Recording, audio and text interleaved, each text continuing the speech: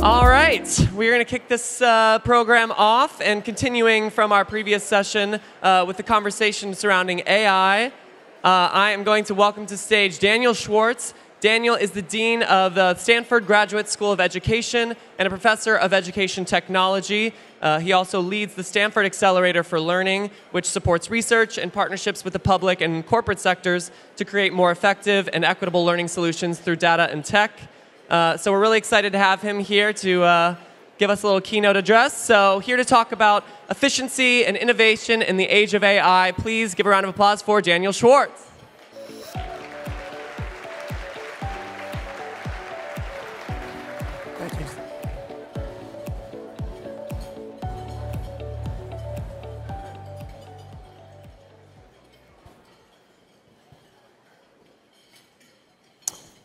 Hello, everyone. Uh, thank you for having me back. I am your lunchtime entertainment. Uh, so, AI is changing everything. It's the revolution. It's here, the imagined future. We can go boldly where we've never gone before. Let me show you what Star Trek predicted for 300 years from now.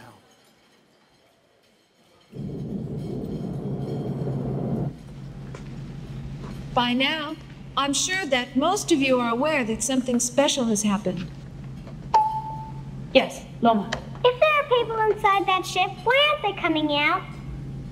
We can't allow it right now because their craft has to be decontaminated. Now, who knows what that means? There you have it. We can go faster than the speed of light. We've replaced hand with a light bulb, and we've become even more didactic. So this is, this is my little fear about AI, is it's going to get us very good at teaching for a different world than we live in now, where things keep changing, and how can we prepare people for that world? What I'm going to do is I'm going to describe two trajectories I've seen out there, one that emphasizes efficiency, one that emphasizes innovation. I'm going to point out that neither is going to get us to the kind of student we want, but there is a way to get there.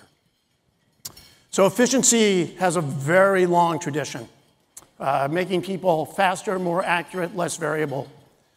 This slide comes from uh, the late 1800s.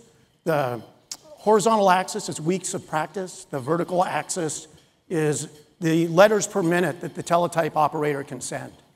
And what you see here is a, a very classic curve that's now called the power law of learning. Early on, uh, you, you get good pretty quickly, but then it slows down as you try and squeeze out the remaining inefficiencies. Uh, those of you who have entered the pickleball era, the fastest growing sport in America, uh, you may have learned that it didn't take much to get into a good game, but the third shot drop, you just can't be consistent with it. Here's a more modern version of this. Uh, these are uh, people, children solving simple addition and subtraction problems.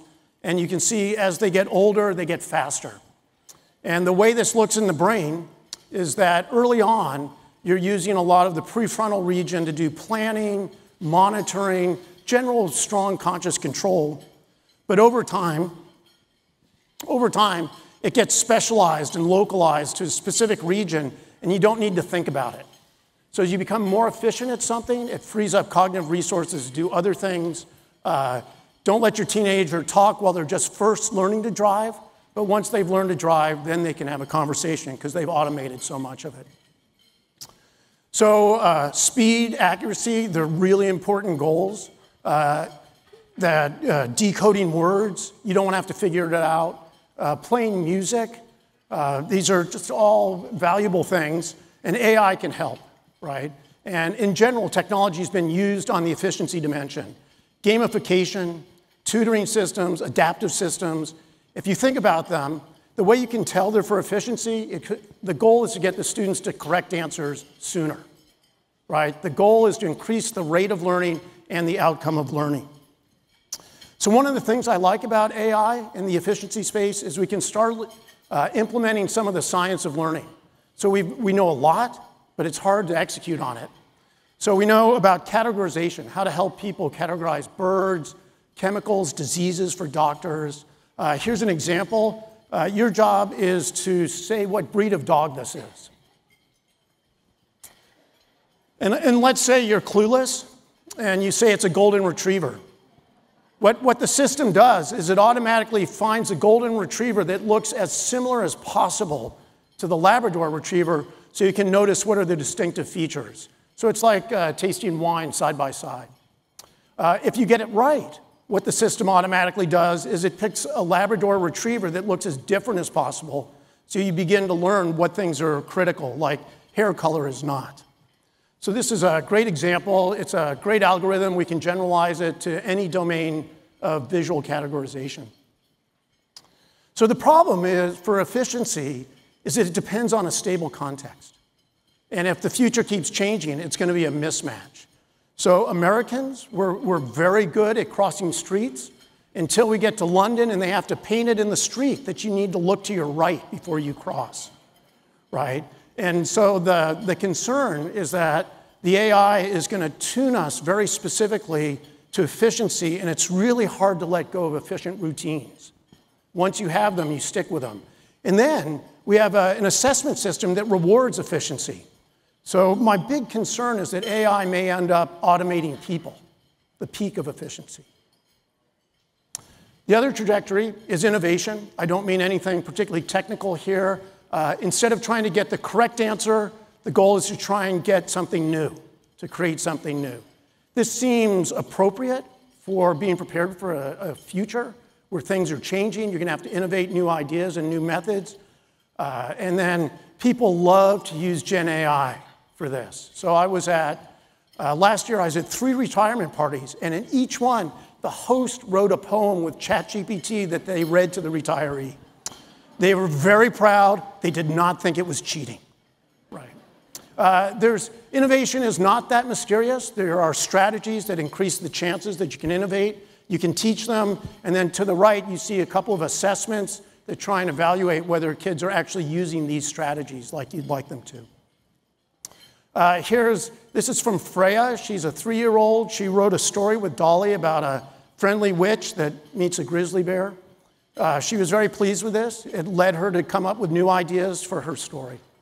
So AI can really supercharge creativity and help us surpass ourselves. Again, but it's, it is insufficient for a dynamic future. The way it is taught now is that we isolate creativity with spot lessons or maybe a class, and then we have all the content knowledge in the efficiency dimension in your STEM classes, your social sciences, your writing classes. The problem of divorcing innovation from knowledge is that you need knowledge to produce good innovations. Creativity equals novel and appropriate, not just novel. So, one of my favorite demonstrations comes from Kay Burgess. She gave people this question. She said, uh, There's eagles that no longer come to this lake. What questions would you like to ask to figure out how to solve this? And so, uh, middle schoolers say, What do they eat? College students say, why did they leave? School superintendents say, what are the government agencies I need to work with to solve this problem? So you can see knowledge has a big effect on the kinds of creativity and innovations that you move towards. The big fear is that what you're going to get is you're going to get people that experiment lightly and develop no distinctive competence to make sense of new situations when they arise and the set of tools that you might use to address it. So I've said there's two dimensions, and from these you can sort of say what is the image that we imagine of our learner in the future. If you follow the efficiency dimension, you end up with routine expertise. Routine doesn't mean pedestrian, it means you're very good at handling the routines of life, the recurrent situations, the ABCs, you're very good at this. Uh, the innovation dimension, you cumulative experiences, innovating, design thinking, creativity, uh, plays. The end of this, when I'm kind of in a snarky mood, the end of the innovation trajectory is the annoying novice.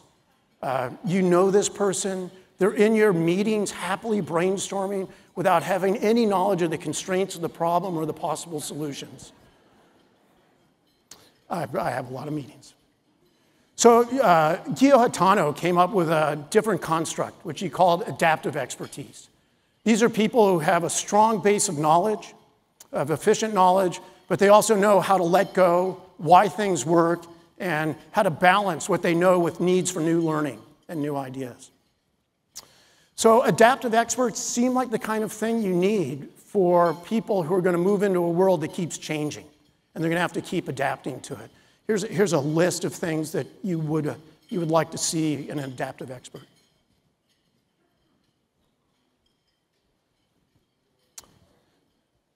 So the question is uh, how do we get people there?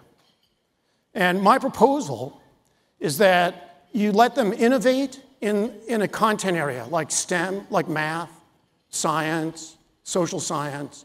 And then after they've tried to innovate, you then show them the efficient solution that took years by scholars and others to figure out what's the right way to do this. And then you get them a chance to practice, and then you rinse and repeat and do this over and over. So this, this, uh, this shouldn't be surprising, but you don't see it. So I'm going to bring some evidence to bear on this. Uh, so bear with me. I am a professor. Uh, so this, this is a study with uh, people learning, students, college students learning eight memory concepts, things like primacy and recency. And in the efficiency condition, they got a chapter that described these eight concepts and their theories and how they show up. And they had to write a two to three page summary. They turned it in, and then they had got to hear a lecture on the same topic. Two weeks later, they got the description of a very new situation, and they had to predict what would people remember. And you can see they didn't use too many of the things they learned to solve that. Uh, the innovation condition, they received simplified data from classic experiments that demonstrated these eight phenomena. And their job was to innovate a way to characterize this and to explain what was going on. But they never got an explanation. They weren't told what was important. They too did not do so well in the novel situation. The condition where they innovated first, right? They tried to come up with their own way to think about the data, and then they heard the efficient solution. They got the same lecture as the efficiency condition. They do much, much better. So, this innovation cues you to what's most important, and then the efficiency helps you handle it effectively. So, I want to show this one other study uh, to make a different point. In this study, uh, this is uh, eighth graders learning about density and speed and ratio. Ratio is a big concept. And the efficiency condition is very traditional instruction. Uh, they were told about these situations, they were given examples, they were shown the formula, and they got a chance to practice. Uh, the innovation condition, they, they got to create, try and solve it on their own, and then they got the same efficiency instruction. Uh, a couple weeks later, they got a new situation that they had to adapt to, basically about springs, which percentage used ratios. You can see innovation efficiency did better. What I'm interested in here is the effects of achievement, prior achievement on this. So these are the scores of the students with the high GPAs in these classes. These are the scores of the kids with the low GPAs. Uh, I want to make two points. One, uh, if you're a low achieving student and you get the traditional instruction, you are not being prepared for a dynamic future. And it makes no sense to me that students who are, have not been served well, we keep teaching them exactly the same way. The other thing to notice is the innovation but efficiency condition. The low achieving kids outperform the high achieving kids who get the efficiency. So the way we teach does matter. So some of you are thinking, uh, Dan, what about efficiency first and then innovation? You know, you could go that route. Uh, maybe you like Bloom's taxonomy. Some of you are probably familiar with this pyramid on the left, on the right. Uh, this is not what Bloom's taxonomy was. Bloom's taxonomy was this list of six things which he thought were all separate things you could measure. It had no implications for instruction. But in our efficiency minded culture, what did we do? We made an implied hierarchy that you should start with remembering the basics and then creativity is at the very end. Just to be clear, there is no evidence for this. Understanding improves remembering, analyzing improves understanding, and as I'm proposing, creating improves all of these. The real reason you don't do efficiency first is that once people know the answer, they stop trying to learn anything new because they think they know.